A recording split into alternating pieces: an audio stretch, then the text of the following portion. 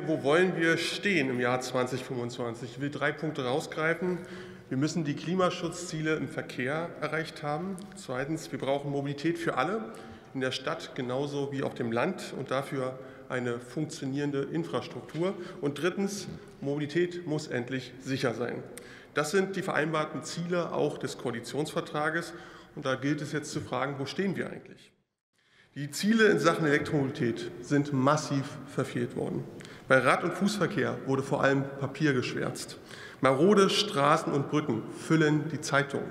Die Ziele, die in Sachen Verkehrssicherheit die Bundesregierung selbst sich gesteckt hatte, sind allesamt verfehlt worden. Das ist die Bilanz der letzten Regierung. Und da muss sich einiges ändern.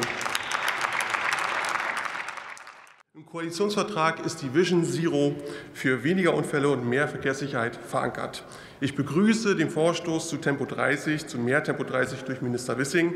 Das wird ein wichtiger Schritt. Und ich finde, aus der Vision Zero muss eine Mission Zero werden. Und dafür stehen wir bereit.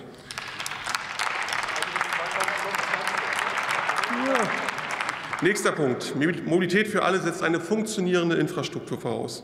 Und daher werden wir die Mittel für den Bahnausbau erhöhen, ebenso wie für den Nahverkehr. Der nationale Radverkehrsplan wird umgesetzt werden. Insbesondere das Radnetz ist auszubauen. Wir werden uns dazu verständigen, welche Infrastruktur wir künftig brauchen. Und dazu haben wir was Neues, auch im Koalitionsvertrag verankert, nämlich einen sogenannten Gleichstellungscheck.